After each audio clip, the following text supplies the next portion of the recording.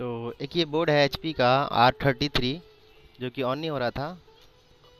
तो देखिए, बता देता हूँ। यहाँ पे जो बोर्ड ऑन करते थे तो यहाँ पे जो मिली एम्पियर है टू वो ऑन करने के बाद जो है ज़ीरो हो जाता था। अभी जैसे ऑन हो रहा है तो उस टाइम क्या हो रहा था कि ज़ीरो हो जा रहा था। और प्रॉब्लम थी कि देख सकते हैं यहाँ पे एक स्टेप डाउन की आईसी दिख रही होगी आपको। ये आईसी जो कि डैमेज था, जो कि यहाँ पे है, वो चेंज किया और ऑन हो गया।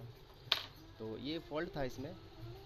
मिलते हैं नेक्स्ट वीडियो में। तब तक के लिए देखते रहिए वीडियो और अच्छा लगे तो लाइक एंड सब्सक्राइब ज़रूर कीजिएगा।